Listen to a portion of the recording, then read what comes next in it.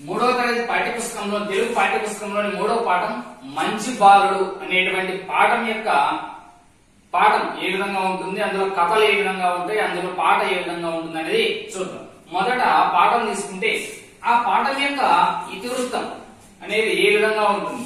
So ఆ ఇతివృత్తం అనేది సహానుభూతికి సంబంధించినటువంటి ఇతివృత్తం. నెక్స్ట్ ఈ మంచి బాలుడు అనేటువంటి పాఠం యొక్క ప్రక్రియ గేయ కథ అంటే గేయంలో ఏ రూపంలో ఈ పాఠం అనేది ఉంటుంది మరి దాని యొక్క కవి తీసుకుంటే ఈ పాఠం యొక్క కవి ఆలూరి బైరాగి ఆలూరి బైరాగి ఆయన ఎప్పుడు జన్మించాడు? ఐదో తేదీ పదకొండు నెల పంతొమ్మిది వందల ఇరవై ఐదో సంవత్సరంలో జన్మించాడు. ఎప్పుడు మరణించాడు తొమ్మిదో తేదీ తొమ్మిదో నెల పంతొమ్మిది వందల డెబ్బై ఎనిమిదిలో. అంటే పంతొమ్మిది వందల ఇరవై ఐదులో జన్మించి పంతొమ్మిది వందల డెబ్బై ఎనిమిదిలో మరణించడం జరిగింది. మరి ఈ యొక్క ప్రత్యేకత ఏమి అంటే ఇరవయో శతాబ్దంలో అగ్రశ్రేణి తెలుగు కవులలో ఒకరు. ఇరవై శతాబ్దంలో ఉన్నటువంటి అగ్రశ్రేణి కవులలో ఈయన కూడా ఒకరుగా చెప్పుకోవచ్చు. మరి మానవుడి అస్తిత్వ వేదని కవిత్వంగా వెలువరించారు మానవుని యొక్క వేదన ఆధారంగా చేసుకుని ఆ మానవ పేరును కవిత్వంగా వెలువరించడము జరిగింది. ఎవరు ఆలూరి బైరాగ్. ఈ ఆలూరి బైరాగ్ ఏం చేస్తున్నాడు? మానవుని యొక్క అస్తిత్వ వేదాన్ని కవిత్వంగా వెలువరించాడు నెక్స్ట్ ఆయన యొక్క ఇతర రచనలు తీసుకుంటే చీకటి మేడలు నూతిలో గాంతుకలు ఆగమ రీతి దివ్య భవనం. చీకటి మేడలు నూతిలో గాంతుకలు ఆగమ రీతి దివ్య భవనం.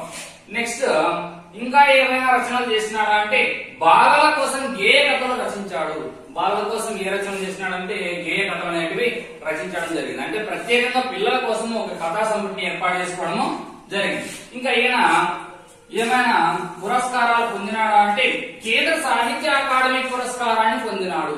కేంద్ర సాహిత్య అకాడమీ పురస్కారాన్ని పొందడము జరిగింది. ఇది మంచి బాలుడి యొక్క ఇతివృత్తం ప్రక్రియ మరియు కవి నెక్స్ట్ అదే మూడో పాఠంలో పాట తీసుకుంటే కలపండి చేయి చేయి అనేటువంటి పాట అనేది ఉందన్నమాట. దానికి కవి పరిచయం తీసుకుంటే దాని యొక్క కవి ఎవరు అంటే దేవులపల్లి వెంకటకృష్ణ శాస్త్రి. దేవులపల్లి వెంకటకృష్ణ శాస్త్రి. మరి దేవులపల్లి వెంకటకృష్ణ శాస్త్రి ఎప్పుడు జన్మించాడు అంటే ఒకటో తేదీ పదకొండవ నెల పద్దెనిమిది వందల తొంభై ఏడో సంవత్సరంలో జన్మించినాడు ఇరవై నాలుగో తేదీ రెండో నెల పంతొమ్మిది వందల ఎనభై సంవత్సరంలో మరణించాడు. అంటే పద్దెనిమిది వందల తొంభై ఏడులో జన్మించి పంతొమ్మిది వందల ఎనభైలో మరణించడం జరిగింది. నెక్స్ట్ ఈయన యొక్క ప్రత్యేకత ఏమి అంటే ఆధునిక తెలుగు కవిత్వంలో భావ కవిత్వ యుగానికి తలుపులు తెరిచాడు. ఆధునిక తెలుగు కవిత్వంలో భావ కవిత్వ యుగానికి తలుపులు తెరిచాడు. నెక్స్ట్ ఈయన్ని ఏమని పిలుస్తారు అంటే అచ్చమైన తెలుగు కవి అని అంటారు అన్నమాట ఈయన ఏమని పిలుస్తారు అర్థమైన తెలుగు కవి అని పిలుస్తారు. మరి ఈయన కవిత్వంలో ఉన్నటువంటి లక్షణాలు ఈయన కవిత్వానికి ఉన్నటువంటి లక్షణాలు ఏమంటే అక్షర రమ్యత భావ సౌకుమార్యం శబ్ద సంస్కారం చెరుకు రసంతో నిండిన సముద్రం.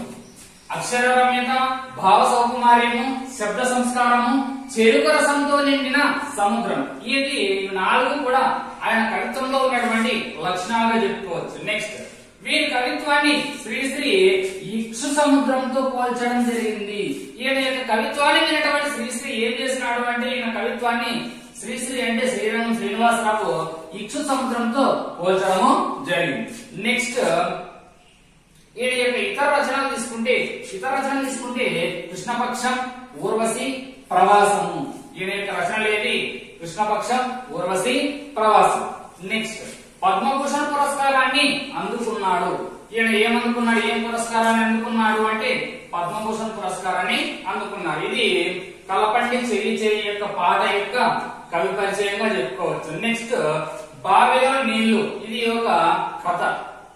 ఈ బావిలో నీళ్ళు అనేటువంటి కథను ఎక్కడ నుంచి తీసుకున్నారు అంటే అక్బర్ బీర్బల్ కథ నుంచి తీసుకోవడము జరిగింది. ఇది మూడో పాఠం యొక్క కవి పరిచయాలు. మరి మూడో పాఠంలో ఉన్నటువంటి పాట యొక్క కవి పరిచయం మరి అదేవిధంగా కథ